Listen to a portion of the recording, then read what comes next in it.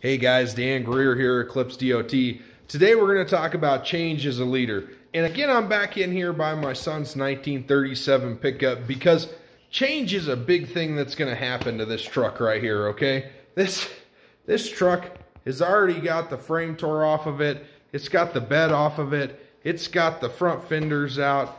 It's, it's gonna see some change, okay? Just like we see every day in our life as leaders, we see change. We have a couple ways we can accept change though. One is is that we accept it. We say change is happening, we're going to deal with it and we're going to move forward.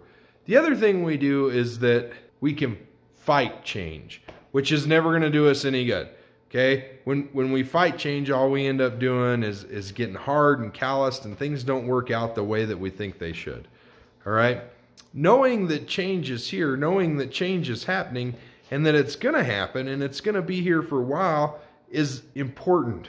Okay. So as a leader, here's what I encourage you to do.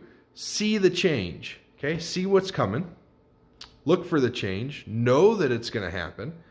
In the end, this is going to be a gorgeous vehicle. This is going to be completely painted. It's going to be completely redone. It's going to be refurbished, but it takes a while to get it there. Okay. It has to go through a lot of change in order to become beautiful, just like we do as people. So, in order to become better, we have to go through change. In order to learn, we have to go through change. Change is inevitable, change is going to happen, period, in a story. What we want to encourage everybody to do today is, is be positive with change to, to look for the ways in, in your company that things could change, to look for the people who are trying to change your company, to look for the people who are doing it, and open your eyes, open your eyes to them, and actually listen to them as well, because maybe what they have to say makes a lot of sense, and maybe that change could really help your company out. And, and next time you're even thinking about it, remember that this right here, this bed, this fender, this cab, it's got to go through a lot of change to become something absolutely gorgeous, just like we do as people.